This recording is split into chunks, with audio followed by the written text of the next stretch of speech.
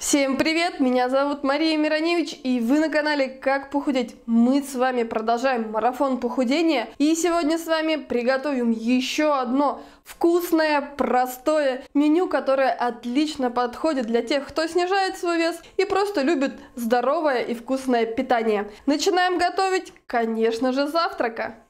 Приготовление завтрака мы начинаем весьма необычно, нарезаем с вами лук. Луковица нам потребуется одна. Луковицу я нарезаю самым мелким кубиком. Нарезанный лук отправляю в разогретое на сковороде масло и оставляю пассероваться. Три хорошеньких мелких морковки натираю на самой мелкой терке. К луку добавляем морковку, и да, мы с вами по-прежнему готовим завтрак. Но, правда, завтраки с овощами получаются очень вкусными и сытными. Так что продолжаем готовить наш завтрак. Еще у меня два красивых сладких перца. Нарезаю перец сначала тонкой соломкой, а затем нарезаю мелким-мелким кубиком. Это я делаю для того, чтобы овощи готовились быстрее. Кубики перца также отправляем в сковороду, перемешиваем еще я сейчас перчу, для того, чтобы наш завтрак был ароматным. И оставляю пассероваться овощи на 5 минут. Овощи выглядят просто отлично.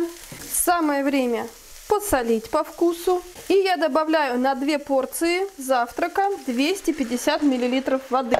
Накрываю крышкой и прибавляю огонь до самого большого для того, чтобы вода, а по сути уже овощной бульон, закипел.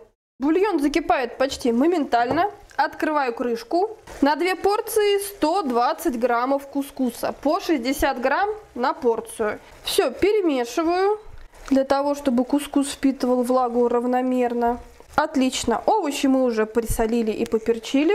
Требуется накрыть крышкой и на самом медленном огне оставить томиться на 3 минуты.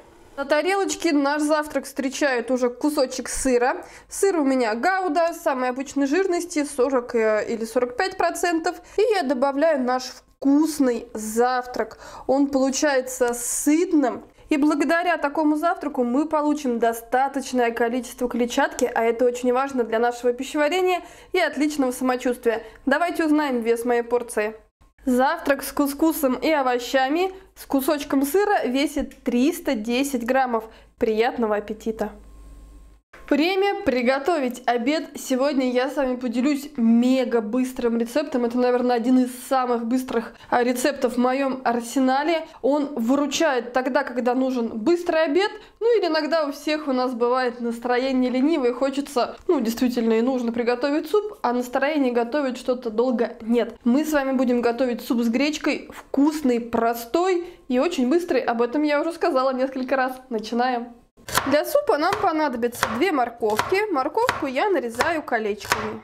Супчик у нас быстрый, поэтому кастрюля у меня уже на огне. Как вы видите, там уже у меня есть луковица, которую после готовности я выловлю. Отправляем туда наши две морковки, которые нарезали колечками. И еще я загружаю сразу 250 граммов заранее промытой гречки. Пока вода закипит, ждать совсем не нужно, все сготовится отлично и так. Накрываю крышкой и после закипания готовлю на среднем огне. Для супа нам понадобится две куриные грудки. У меня они общим весом 600 граммов. Вы можете взять чуть меньше, чуть больше. И я нарезаю грудку кусочками около 2-3 сантиметров.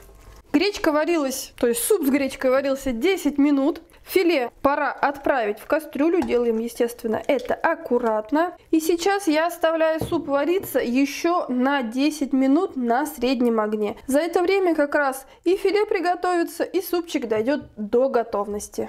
Накрываю крышку и жду 10 минут. 10 минут прошло, суп почти готов. Остается его присолить по вкусу, все перемешать и можно уже подавать.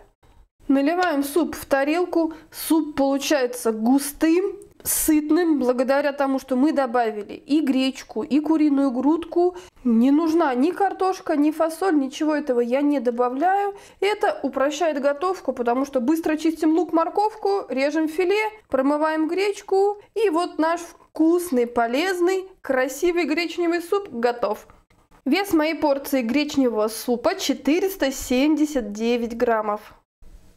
Обед мы с вами приготовили, самое время подумать о ужине. Мы будем использовать самые простые ингредиенты. Лук, опять лук, куриное филе, или у меня сегодня это бедрышки и голени, и еще рис. Но если ко всему этому добавить карри, у нас получится восхитительная курица карри, которая наполнит ваш дом согревающим ароматом. Начинаем готовить! Нам понадобится 6 луковиц, их я нарезаю тонкими полукольцами. На сковородку я уже налила 2 столовые ложки растительного масла и хорошенько его разогрела. Теперь добавляю туда вот так много лука. Это одна из важнейших составляющих вкусного карри. Теперь на самом среднем огне оставляю лук пассероваться. Лук уже отлично выглядит. Самое время добавить перец. Ну и, конечно же, не скупиться на приправу карри. Добавляем ее щедро. Естественно, вы добавляете на ваш вкус. Для меня обязательно должен быть сильный аромат.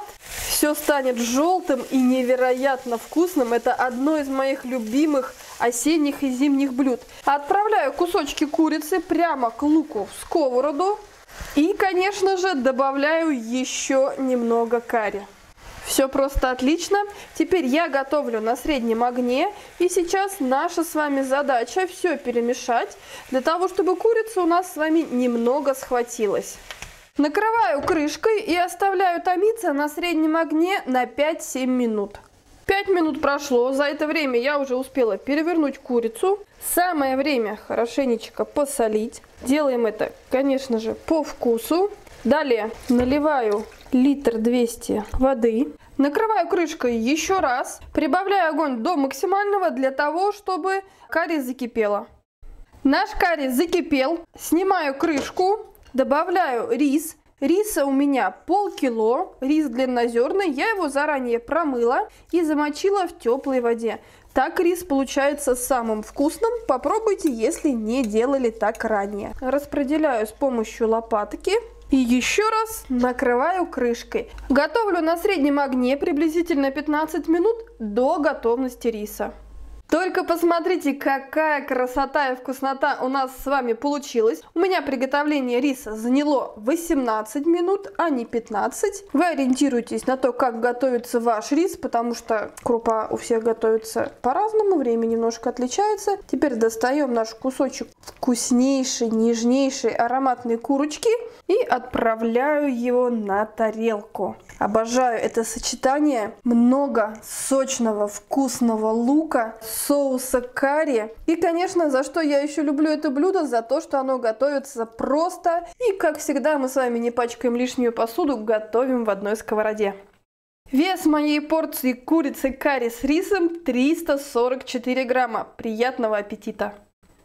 Еще у нас сегодня по меню салат из квашеной капусты. Но так случилось, что квашеную капусту в нашей семье любят все и ее просто съели. Поэтому для того, чтобы вы выбрали вот здесь появится ссылка на целый плейлист салаты. Там есть абсолютно разные варианты.